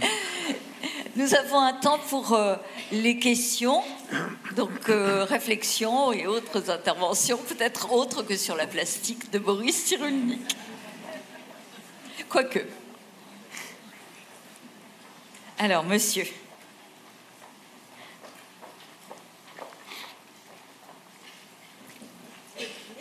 Ah Merci, vous êtes toujours aussi passionnant. Parlez, parlez fort, s'il vous plaît. j'ai un micro pourtant et j'ai une voix forte. Euh, est-ce que les, codes culturels, l'histoire éducative euh, dans certaines civilisations peuvent modifier le récit que l'on se fait à travers les codes, l'autocensure, etc. Oui, merci pour cette question, parce que effectivement, c'est la question logique. Alors, la réponse est oui. Euh, la structure écologique et sociale du milieu sculpte des cerveaux différents. Et oui, les récits que nos enfants entendent autour d'eux quand ils se développent, les récits familiaux et culturels, sculptent une, une une représentation de soi différente. Première partie, euh, je travaille au Congo euh, avec chez les Pygmées. Et euh, j'étais invité, j'étais travaillé avec l'UNICEF, et les Pygmées sont en train de sortir des, forêts, en grande partie à cause de la déforestation. Et maintenant, on les voit sur les, autoroutes. Or, les Pygmées vivent pratiquement tout le temps à l'ombre. Parce qu'il y, a des forêts, ils sont presque tout le temps à l'ombre mais donc ils sont petits parce que la base de leur cerveau n'est pas stimulée, les hormones de croissance sont moins stimulées, et depuis qu'ils sortent des forêts, ils reçoivent plus le soleil, le diencéphale, c'est-à-dire la base du cerveau, est stimulée, ils augmentent la sécrétion des hormones de croissance, et les pygmées en une génération ont grandi de 20 à 30 cm. On voit la même chose d'ailleurs chez les femmes chinoises, où maintenant les femmes chinoises les mères ou les grands-mères étaient toutes petites avec les jambes tordues à cause du rachitisme et parce qu'on mettait les petites filles au travail dès l'âge de 7-8 ans. Et maintenant, vous avez des Chinoises d'un mètre 80 avec des longues jambes droites parce qu'elles vont à l'école et parce que les, conditions sociales et elles, sont assises alors que quand une petite fille ou un petit garçon travaille dès l'âge de 7-8 ans, les cartilages de conjugaison sont tassés et pour peu qu'ils soient un peu rachitiques, ils arrêtent la croissance de leurs jambes. Donc la morphologie, l'anatomie est la conséquence de la structure écologique, et les sculptures cérébrales, sculptures cérébrales sont différentes aussi. Les pygmées vivant à l'ombre étaient tout le temps à l'affût des mouvements des feuilles, parce que c'est dans les feuilles qu'ils trouvaient le gibier. Quand une feuille bouge comme ça, c'est qu'il y a un singe. Ils mangent les singes. Ils mangeaient les singes. Donc, ils avaient des sarbacanes ou des flèches, et ils, étaient, ils voyaient le moindre mouvement de feuilles que ne voient pas les bantous, et que votre serviteur était loin de voir. Hein. Et eux, ils, percevaient le mouvement des feuilles, et ils savaient une sémiologie presque de la feuille, et ils savaient quel animal avait été derrière la feuille. Ils tiraient avec la sarbacane, avec une flèche empoisonnée, et ils avaient un singe ou un, animal à manger. Je vais travailler chez les Inuits euh, au nord du Québec. Là, il n'y a pas d'arbres. Là, au contraire, les enfants euh, sont tout le temps à l'affût d'une ombre sous la glace. Parce que si une ombre passe sous la glace, c'est que c'est un, un poisson qui va, ou, bien c'est un phoque qui s'apprête à sortir. Et euh, je vois, j'ai vu un petit garçon, une ombre passe sous la glace. Le petit garçon de, je sais pas, 10 ans, part comme une flèche sur un trou qui était par là. Il devance le phoque qui sort et il lui plante les doigts dans les yeux et il sort le phoque de. Il l'avait vu sous la glace, ce que votre serviteur n'avait pas vu. C'est-à-dire que notre perception du monde n'est pas la même selon la structure écologique du milieu qui elle-même est la conséquence de structures, euh, conséquences économiques comme chez la déforestation ou conséquences aussi, comme les Bantous, qui persécutent encore aujourd'hui, moins, mais encore aujourd'hui, qui persécutent les pygmées. Donc là, je suis dans un raisonnement systémique, un raisonnement complexe. La manière dont les récits parlent de notre condition, je pense aux intouchables chez les hindous. Alors même si actuellement il y a une sorte d'affirmative action chez les hindous, qui est mal prise d'ailleurs par l'autre euh, Indiens, mais ça c'est leur problème politique, culturel, de savoir comment ils vont lutter contre les castes. Et euh, chez les hindous, les enfants intouchables, s'identifier au statut intouchable parce que les récits qu'ils entendaient, les récits d'alentour, leur disaient Vous êtes impurs. Attention, ne vous baignez jamais en amont d'un aristocrate ou d'un prêtre, vous êtes impur, vous risquez de les souiller. Et j'étais avec un ami indien qui a fait fortune dans le cinéma de Bollywood, c'est comme ça que je l'ai connu, euh, parce que maintenant il a, une maison magnifique à Toulon et il continue à faire des films bollywoodiens qui sont des merveilles de naïveté, mais on se laisse prendre, tellement c'est mignon, c'est beau. Et euh, euh, il me, il m'a un moment, j'entends, je vais l'accompagne, et euh, alors je ne comprends pas le langage des intouchables, mais, mais, les Indiens cultivés ont un très bel anglais, hein, que je comprends mieux que l'anglais des Anglais. Hein. et ils ont un très bel anglais. Et, euh, à un moment, j'entends, on va parler avec les intouchables qui maintenant font des études, et un enfant d'intouchable, sa, sa mère s'adresse à lui et lui dit, et l'appelle ma petite ordure adorée. Ils avaient totalement intériorisé le statut d'intouchable dit par un récit. Et c'était devenu leur statut. Nous, dans notre famille, on est intouchable, on, pollue les, aristocrates ou les, philosophes.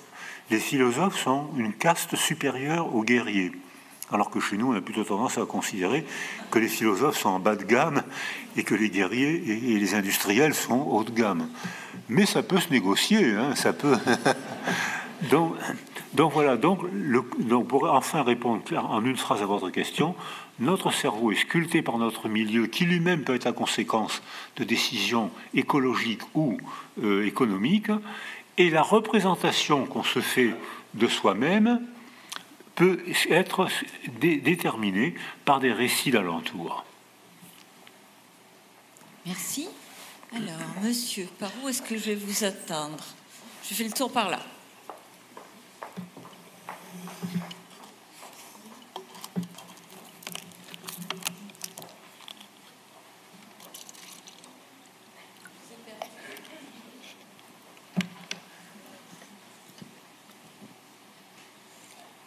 Est-ce que ce qui se vit au niveau euh, personnel, individuel, que vous avez très bien expliqué, peut se retrouver au niveau d'un groupe euh, d'humains, même un grand groupe d'humains, une nation Je pense en particulier, parce que ça fait partie du débat un peu aujourd'hui, de ce qu'on appelle un récit national, qui est toujours enjolivé. Euh, faut-il garder un, récit national enjolivé pour pouvoir se regarder dans la glace ou faut-il absolument euh, s'autodétruire pour les, mauvaises choses que nous avons faites? Voilà un peu ma question. Alors, merci pour euh, votre question, mais c'est la question redoutable. Parce que, alors, on ne peut pas ne pas faire de récit de soi, de notre mythe familial et de notre mythe national. On ne peut pas ne pas en faire. Mais bien sûr, quand on fait un récit, ce récit est presque intentionnel.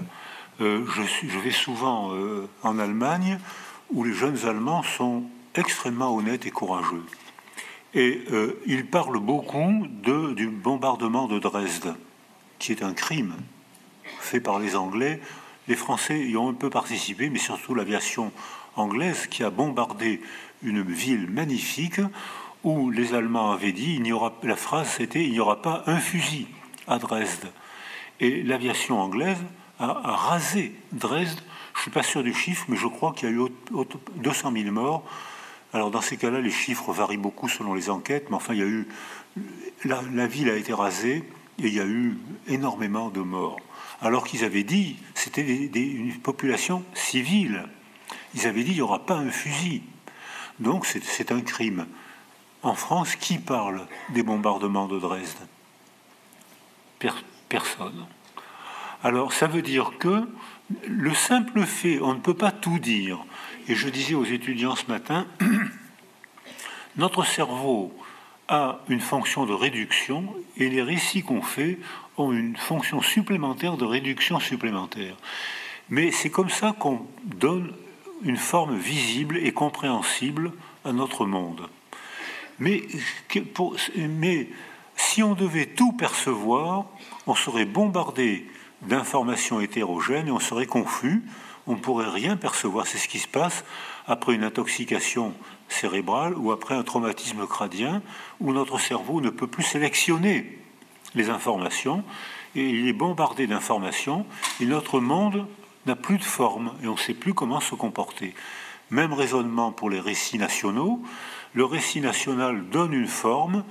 De préférence, c'est la, la forme de celui qui a pris le pouvoir, du parti politique a pris le pouvoir, et qui ne ment pas en choisissant certaines informations pour en faire un récit mythique qui revalorise l'estime de soi. On a besoin d'avoir une estime de soi, on a besoin d'un récit pour avoir une conduite à tenir et pour que notre monde ait une cohérence. Mais il faut savoir que dans une autre culture, dans un autre pays, dans un autre sous-groupe, on fait d'autres récits tout aussi authentiques et tout aussi vrais. Alors là, pour les euh, philosophes cartésiens, dites-moi où est la vérité. Moi, je dis, dites-moi, dites, je peux vous dire où est votre vérité. Mais euh, dites-moi où est la vérité. En voilà un qui disait où était la vérité. Il y en a d'autres. Hein. J'ai pris cette, j'ai pris actuellement, je disais ce matin, j'ai commencé ma vie en subissant un, récit totalitaire, j'arrive au dernier chapitre de ma vie en voyant réapparaître un autre récit totalitaire. Donc, euh, euh, on a le droit d'avoir des religions différentes, c'est inévitable, puisque les anthropologues avec qui je travaille euh, disent qu'aujourd'hui sur Terre, selon la définition qu'on attribue au mot religion, il y a actuellement sur Terre aujourd'hui entre 10 000 et 50 000 religions différentes. On a le droit. De toute façon, ça fait partie être religieux, ça fait partie de la condition humaine. La spiritualité fait partie de la condition humaine. Sur 7 milliards et demi d'êtres humains sur Terre aujourd'hui, il y a 7 milliards d'êtres humains qui tous les jours vont dans un lieu de prière ça fait partie de la condition humaine, c'est donc totalement respectable. Mais ce qui est respectable aussi, c'est de dire que l'accès à la spiritualité fait partie de la condition humaine, la religion fait partie de la condition humaine, elle est inévitable, elle est nécessaire, elle est respectable. Ce qui n'est pas respectable, c'est que là, que ce soit une religion sacrée ou une religion profane, c'est que quand quelqu'un à l'armée ou la police et veut l'imposer aux autres, sachant que la principale arme du, régime totalitaire, c'est pas l'armée, c'est pas la police, c'est la soumission au conformisme, et que tous les gens dans cette salle qui ont subi un régime totalitaire savent que l'arme du régime totalitaire, c'est le conformisme. D'où la nécessité de Turlupin, d'où la nécessité de romanciers qui vont inventer, soi-disant, des romans scandaleux, d'où la nécessité de cinéastes qui vont provoquer des scandales aussi, et on ira leur dire qu'on n'est pas d'accord avec eux, on va s'engueuler, on ne sera pas d'accord, mais on va fabriquer de la culture. Alors que là, on fabrique de la mort. On fabrique de la mort culturelle et de la mort physique. Il n'y a qu'une vérité. Voilà, je ne sais pas si j'ai répondu à votre question, mais je suis très content de ma réponse.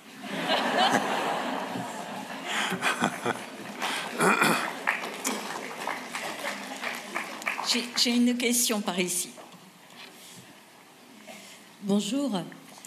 Euh, là, vous parlez euh, des récits euh, qui sont quelque part exprimés verbalement. Comment expliquer le trauma, par exemple, qu'un grand-père peut avoir vécu durant la guerre de 14-18, qui n'a pas été dit et qui pourtant va survivre dans l'histoire familiale, dans les petits-enfants, dans les arrière-petits-enfants, et qui va peut-être même être réparé par rapport à un arrière-petit-enfant? Comment est-ce qu'on peut expliquer ce, phénomène? Que le, grand-père raconte une guerre où il n'a pas été Alors que le grand-père, par exemple, vive euh, un traumatisme durant la guerre, par exemple, de 14-18, que ce traumatisme n'a pas été verbalisé, donc n'a pas été euh, euh, partagé avec la famille et qu'un arrière-petit-fils va quelque part ou réparer ou alors que l'histoire va se transmettre de génération en génération alors que la famille n'était pas du tout au courant. Merci pour cette question parce que elle est, elle est alors là vraiment c'est la règle. Quand un homme, une femme connaît un traumatisme, il, il, du mal ou il ne peut pas en parler à ses propres enfants alors qu'il a souvent du plaisir à en parler à ses petits-enfants ou à ses arrière-petits-enfants. Alors ça, c'est une question, c'est un mystère. Et c'est la règle. Quel que soit le traumatisme, j'ai des amis arméniens qui m'expliquent que ils ont mon âge et ils ont vu la grand-mère avec une énorme cicatrice d'une oreille à l'autre, c'est-à-dire que un, détenu de droit public qui avait été, les prisons avaient été ouvertes pour que les détenus égorgent le plus grand nombre possible de catholiques arméniens, de chrétiens arméniens. Et elle, l'égorgeur, n'avait pas enfoncé, je ne sais pas ce qui s'était passé, il avait simplement fait une énorme coupure et il avait raté les carotides. Et euh, tous les enfants voyaient la cicatrice parce que les Arméniens survivants étaient dans le désert. Donc on ne pouvait pas recoudre ce qu'on aurait fait aujourd'hui, donc elle avait gardé une énorme cicatrice. Et tous les enfants voyaient la cicatrice de la mère et ne poser aucune question. Et ce sont les petits-enfants qui ont osé poser la question, mais grand-mère, qu'est-ce que, pourquoi tu as une cicatrice là? Alors, et la grand-mère a répondu en souriant à ses petits-enfants, alors que elle fait, quand les quelques enfants posaient la question, je t'expliquerai plus tard. Mais plus tard, c'est toujours plus tard. Et quand les petits-enfants ont posé la question, elle a expliqué en souriant, mais tu sais, c'était dans le temps. Euh, il y avait des gens qui ont voulu tuer les Arméniens, qui en ont tué presque un million. Et alors, comment expliquer? C'est la règle pour tous les traumatismes. Alors, comment l'expliquer? C'est que, euh, d'une part, quand il y a un temps de déni euh, que je pour les blessés, les survivants blessés du trauma ou les survivants, il y a un temps de déni que je, pour faire une métaphore que je compare à une jambe cassée. Dans un premier temps, on met un plâtre sur la jambe cassée, parce que si on fait marcher les gens trop tôt, on aggrave la fracture. Si après un trauma, on fait parler les gens trop tôt, on ajoute une source de mémoire verbale, c'est ce que je disais tout à l'heure, et on les encourage à ruminer.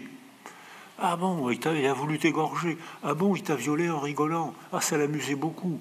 Et donc, en encourageant les gens à parler trop tôt, on, favorise le syndrome psychotraumatique. Je ne parle que de ça. Je révise la mémoire traumatique. Je ne pense qu'à ça dans la journée. Ça me revient sous forme de cauchemar la nuit. Tout ce que j'entends autour de moi évoque la tragédie que j'ai subie et dont je ne peux pas parler. Alors que, donc ça c'est, mais il y a bien un moment où il faut enlever le plâtre pour que les gens se mettent à marcher, et il y a bien ensuite un moment où il faut affronter le, traumatisme pour en parler. Et à ce moment-là arrivent les petits-enfants ou les arrière-petits-enfants. Et alors eux, ils ont la tranquillité que donne la distance. La relation affective entre un grand-père et, ses petits-enfants n'a pas du tout la même structure que la relation affective avec un père et ses propres enfants. Plus on vieillit, moins on est répressif dans l'éducation.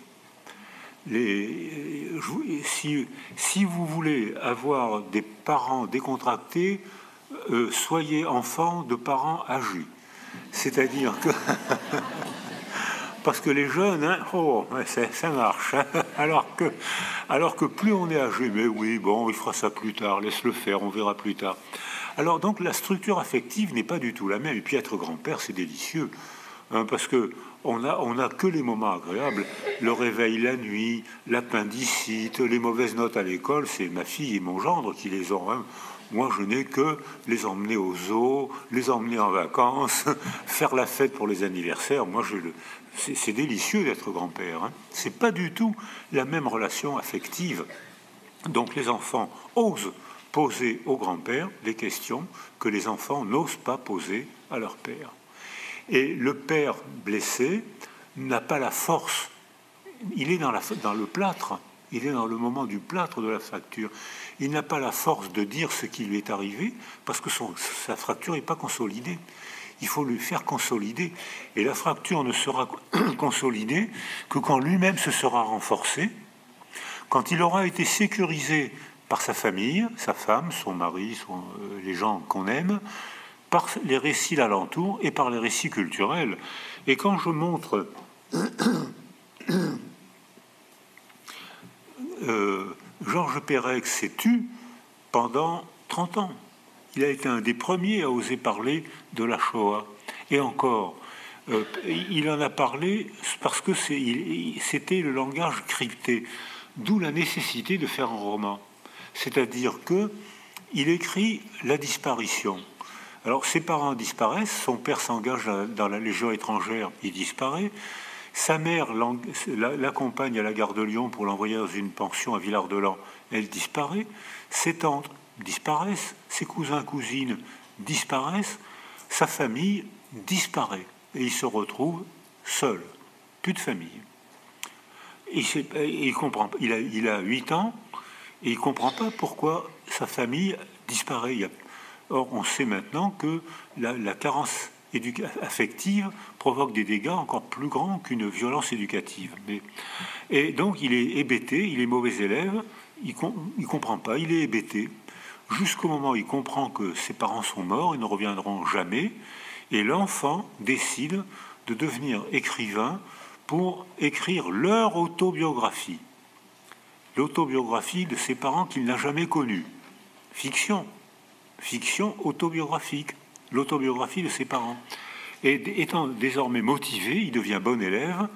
Et mon ami euh, Ferreri était professeur à Saint-Antoine. Il a eu comme archiviste, il est rentré au CNRS. Et c'était un homme très cultivé, un homme adorable, sauf que il était clivé. Il avait en lui une crypte dont il ne pouvait jamais parler. Et pour redevenir entier, il a écrit un roman, un roman qui a eu le prix Renaudot et qu'il l'a mis sur une orbite de, des grands romanciers, des grands, scénos, des grands ceux, qui font les scénarios de films. C'est pas, pas scénographe, c'est scénariste, scénariste de, notre époque. Et quand on lit La disparition, comme vous l'avez fait ou comme vous le ferez ce soir, parce qu'il faut lire ce livre, on, met, on dit tiens, c'est poétique, tiens, c'est étrange, qu'est-ce que c'est que ce style? Et on met plusieurs pages pour comprendre que ce qui a disparu, c'est la voyelle E. Et ce n'est que dans W ou souvenir d'enfance qu'il avoue le procédé crypté, la crypte, le procédé, il écrit un livre sans la voyelle E pour désigner eux, mes parents disparus. On est dans le langage crypté, la poésie, la poésie de l'étrangeté, l'expression de soi sous forme de roman. Alors il dit que c'est un roman, mais en fait, ce roman disait le vrai. Il inventait quelque chose qui disait la vérité. Et la vérité, c'est ce que moi, enfant, j'ai pensé, j'ai ressenti plutôt pendant des années, parce que je ne comprenais pas pourquoi ma famille avait disparu. j'avais 6 ans, 8 ans, 10 ans. J'ai mis des années, dit Pérec, à comprendre pourquoi j'étais sans famille et pourquoi ma famille avait disparu. Et c'est le roman, l'invention, le remaniement, c'est ce qu'on disait ce matin avec les étudiants, c'est le remaniement qui lui a permis de devenir écrivain et scénariste.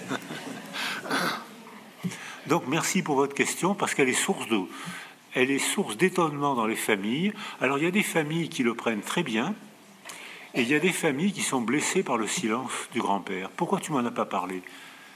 Et il y a des familles au contraire qui découvrent le grand-père. Alors j'ai la même histoire, c'est une femme qui rentre dans la résistance française à l'âge de 15 ans parce qu'elle ne supporte pas l'occupation allemande. Elle a 15 ans, elle est ouvrière parce que dans ma génération, euh, les filles allaient à l'usine après le certificat d'études à 12 ans. Et elle restait debout 10 heures par jour à l'usine. Un ouvrier sur trois était une fille. Et euh, les chronomètres chronométraient le temps où elles allaient aux toilettes pour qu'elles ne restent pas assises trop longtemps. Donc les conditions, les conditions d'ouvrières, d'ouvriers et d'ouvrières étaient vraiment difficiles. Elle, entre, elle distribue des tracts, elle fait la gamine, elle a un peu d'argent, elle fait des tracts à compte d'auteur qu'elle distribue, et des gens la repèrent et lui disent non, si tu fais ça, tu vas être arrêté, comme des lycéens ont été arrêtés, sont morts fusillés ou morts en déportation. Et des, gens lui disent ne fais pas ça, tu vas mourir, viens avec nous, on va t'apprendre comment il faut faire. Ils lui apprennent à tirer au revolver. Arrive un chef de la Gestapo à Villeurbanne. Les gardes du corps se méfient pas de cette grande fille qui arrive, armée, qui tue le chef de la Gestapo. Les compères résistants tirent sur les gardes du corps qui ne tirent pas sur la fille ou n'arrêtent pas la fille pour se protéger eux-mêmes. Elle peut s'enfuir. Elle garde le revolver et le lendemain, elle va dans le village où 30 otages ont été pris et fusillés sans jugement. Et elle se promène dans son village et elle pense, elle a 15-16 ans, et elle pense, cet enfant est orphelin à cause de moi, cette femme pleure à cause de moi, cette ferme ne marche plus à cause de moi, et elle commence une carrière d'auto-agression pour expier sa faute, culpabilité. Je suis, elle n'est pas coupable d'avoir tué le chef de la Gestapo, elle est coupable de la mort des 30, des 30 otages. Et elle commence à se punir, et dans le cadre de ces autopunition, elle épouse un haut fonctionnaire. Et, ce qu'il ne faut jamais faire. et euh, donc, elle est un haut fonctionnaire est déménagé tous les trois ans, et à chaque déménagement, elle emporte dans une boîte en fer avec un chiffon huileux son revolver qui est la preuve de son acte héroïque de résistance et de sa culpabilité et elle met le revolver au, milieu de la salle à manger à chaque déménagement. Aucun de ses enfants ne pose de questions. Un jour, un petit enfant, âgé de 15 ans lui aussi, ouvre la boîte, voit le revolver, s'étonne, qu'est-ce que c'est que ça? Et la patiente, ma, patiente, euh, parle devant ses filles, elle n'avait que des filles, parle devant ses filles, voilà, pendant la guerre, j'étais résistante, et elle leur explique en deux mots. Stupeur des enfants qui avaient vu la boîte en fer blanc, qui ne savaient pas parce que la mère en avait parlé. Interprétation du petit-fils. Mais, mais grand-mère, mais tu es un héros, il faut que tu en faire un roman, grand-mère, c'est magnifique. Et le petit-fils donne la parole à sa grand-mère. Et sa grand-mère écrit un petit manuscrit de 50 pages qu'elle m'a donné, qu'elle a fait un petit tapuscrit qu'elle m'a donné, et c'est le petit-fils qui a donné la parole à sa grand-mère, parce que la grand-mère n'avait pas pu le dire à ses enfants, et les enfants, peut-être probablement oppressés, n'ont pas osé poser de questions à leur mère. Donc votre question est passionnante et pertinente, ça ne veut pas dire toujours facile dans les familles, mais voilà, c'est comme ça dans presque toutes les familles. Merci. Peut-être une dernière question? Alors, je reviens devant.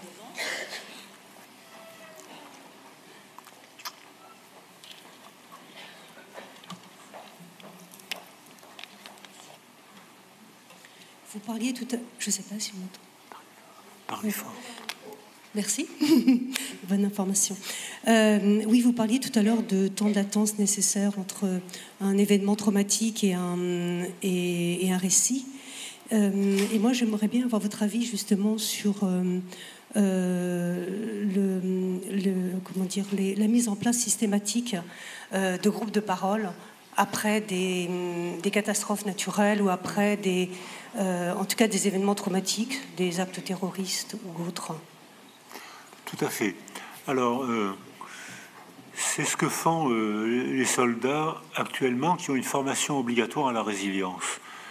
Avant le trauma, facteur de protection. Pendant le trauma, une base de sécurité. Inspiré par les Américains, ils appellent ça un buddy, euh, un copain. et après le trauma, groupe de parole. Ils sont plus en uniforme, ils sont en survêtement et ils font, ils sont pas obligés de parler. Ils ne parlent que s'ils veulent ils font du jogging, ils parlent de bêtises s'ils veulent parler de bêtises, ils sont sécurisés, premier temps, et dans un deuxième temps, ils vont dans un groupe de parole et ne parlent que s'ils veulent prendre la parole. S'ils veulent se taire, ils se taisent. Ils ne sont pas contraints à parler. Et, effectivement, là, quelques-uns ont envie de parler très tôt, les autres les écoutent et savent que celui qui parle est leur porte-parole. Et donc, ça fait partie, mais on a respecté le temps du plâtre dont je parlais tout à l'heure. S'ils ne veulent pas parler, on ne les force pas à parler, parce que sinon on aggraverait le syndrome psychotraumatique. Alors, euh, actuellement, il y a 10 à 12 000 Français, soldats français en guerre actuellement. On, croit qu'on est en paix. Il y a 12 000 soldats français sur le front du Mali, Afghanistan, et Hollande a avoué il n'y a pas longtemps, en Syrie. Or, euh, il y a moins de morts qu'avant, parce que les, euh, les soldats ont 50 à 60 kilos de matériel technique sur le dos. Ils ont des caméras infrarouges, ils ont pour les combats la nuit, ils ont, un gros matériel, ils ont un téléphone portable. Donc il y a beaucoup moins de morts que pendant la guerre de 14-18 ou pendant les guerres de 39-40 où il y a eu des, dizaines de millions de morts. Il y a beaucoup moins de morts parce que la technologie les protège et parce que les morts maintenant c'est des civils. Hein, je parlais de Dresde tout à l'heure à chaque guerre, c'est les civils et surtout les, enfants qu'on tue de plus en plus au cours des guerres. Actuellement, dans les guerres du Proche-Orient, en Syrie, il y a 100 000 enfants qui ont été tués. En 50 guerres, en Syrie. Personne n'en parle. Personne. 100 000 enfants ont été tués. C'est un massacre d'enfants. Personne n'en parle. Et quand ces soldats rentrent, il y a moins de morts qu'avant, il y a énormément de syndromes psychotraumatiques. Énormément. D'où la nécessité de former ces soldats à la résilience. Et ils savent qu'il y a les facteurs de protection qui sont acquis avant. C'est le cerveau, je vous ai montré. Lorsqu'on a été sécurisé, le coup dans le réel, on le reçoit, mais on redémarre plus vite si quelqu'un nous tend la main ou la parole, on redémarre plus vite. Si on a été isolé précocement, on a acquis un facteur de vulnérabilité neuro-émotionnelle. Le coup qui nous frappe, on a du mal à redémarrer parce qu'on a déjà été vulnérabilisé par une défaillance développementale pré-parolière, pré-verbale au cours des premiers mois de notre vie. Et après le trauma, euh, si on fait parler les gens trop tôt, on aggrave le syndrome psychotraumatique, mais dans les groupes de parole, alors, quand j'ai travaillé avec les enfants soldats au Congo, les enfants, les éducateurs congolais qui m'ont impressionné par leur talent relationnel, leur talent psychologique. Il y a des enfants soldats comme il y en a eu dans toutes les cultures. Hein. En France, on avait les Marie-Louise napoléoniennes, euh, les Allemands. Euh, si vous allez au cimetière de Caen, euh, cimetière allemand de Caen, il y a des, on voit sur les tombes, il y a plein de tombes de 12 ans de petits hommes, des enfants. Et j'ai discuté avec des Américains qui me disaient on voyait de loin un uniforme allemand avec un fusil, on tirait dessus, et c'est en arrivant sur le corps qu'on voyait qu'on venait de tuer un enfant de 12 ans. Donc c'était l'enfant de 12 ans, lui sa vie avait été brève, et le soldat américain, il n'était pas fier d'avoir tué un enfant de 12 ans, ce qui se passe actuellement dans les guerres du Proche-Orient, où les djihadistes envoie en première ligne des enfants avec des explosifs autour de la taille. Et ce que nous disent les soldats, c'est ils tirent sur les enfants et euh, ils disent Si je, tire, si je tire dessus, il va mourir. Si je tire pas dessus, il va mourir avec moi. Et les djihadistes, parfois, envoient des enfants avec des bouquets de fleurs ou des lettres. Les enfants arrivent à souriant, les soldats tirent, et ils découvrent que l'enfant n'avait aucun explosif autour de la taille. C'est-à-dire que ces soldats rentrent au camp délabrés psychologiquement. Et là, j'en ai vu beaucoup. Toutes les guerres sont dégueulasses et les guerres modernes sont encore plus dégueulasses. Et alors en plus, les médias se font complices. Puisque si les terroristes font volontairement, intentionnellement, des actes incroyablement atroces et spectaculaires, c'est pour passer sur TF1 à 20h. De façon à pouvoir terroriser la population, provoquer des conflits, de préférence interreligieux s'ils pouvaient, ou intercouleurs ou interculturels, je ne sais pas, parce que à ce moment-là, le, pays d'accueil serait agressé par des guerres intérieures, ils seraient vulnérabilisés et ils pourraient imposer leurs lois plus facilement. Jusqu'à maintenant, ça s'est pas trop passé. Il y a des gens qui aimeraient bien que ça se passe comme ça, hein. mais pour l'instant, ça s'est pas trop passé, ni en Allemagne, ni en France. Mais il y a des gens qui se laisseraient bien piéger, comme l'ont été les Français, l'armée française pendant la guerre d'Algérie, qui ont répondu aux atrocités par des atrocités, et c'était ce que souhaitait le FLN.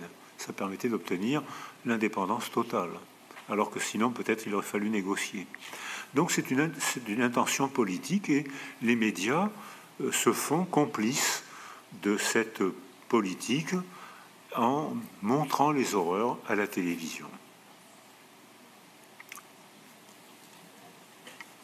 Allez, une petite dernière, mais c'est bien parce que c'est vous. Hein oui, merci beaucoup. Mais vous avez répondu au niveau de l'armée. Vous avez répondu au niveau de l'armée. Euh, je ne sais pas si c'était la question de Madame, mais moi je voudrais dire euh, sur tous les événements, déraillement, euh, le feu, un attentat, etc. On en voit de plus en plus ce qu'on appelle un SAMUPSI. Et est-ce que est-ce que ça vous paraît légitime que ce soit tout de suite là, sur l'instant On entend parler de plus en plus de le, le SAMU psy. ah, oui. cellule psychologique. Oui, merci pour cette question. Euh, parce que euh, c'est bien sûr c'est la question logique. Alors quand c'est un stéréotype, ça devient ridicule. Il y a eu, il y a eu 7000 morts, 200 000 euh, migrants, mais c'est pas grave, on envoie une cellule psychologique. C'est absurde, c'est même ridicule. En revanche, après l'attentat du Bataclan, Xavier Emmanueli avait organisé, le directeur du SAMU international, avait fait une répétition pompiers, policiers, gendarmes, soldats.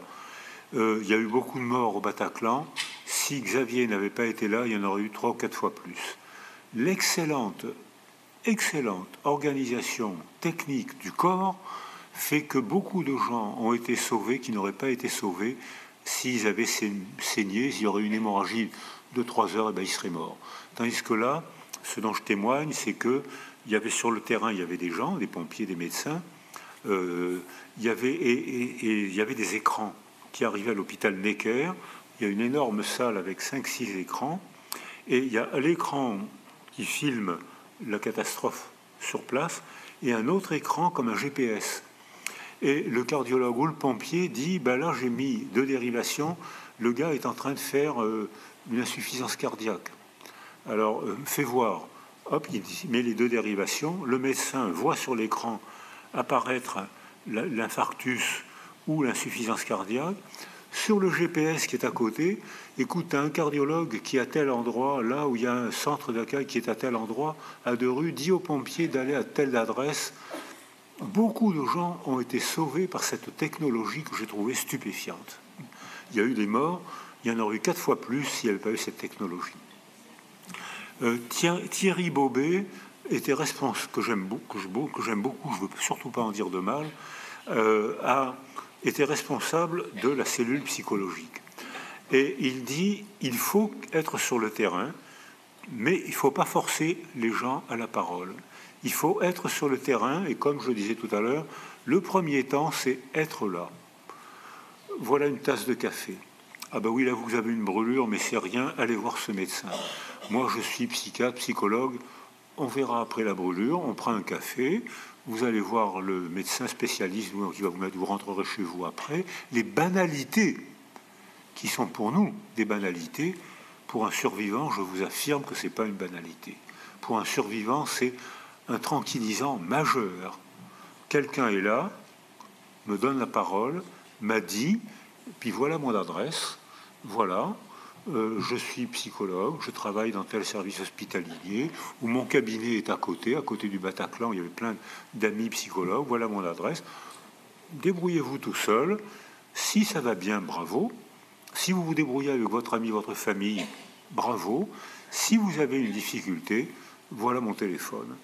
Beaucoup de gens sont rentrés chez eux, beaucoup de gens se sont dépatouillés avec leur famille et leurs amis, ou, beaucoup de gens, la religion qu'on agresse beaucoup a eu un facteur de protection très efficace.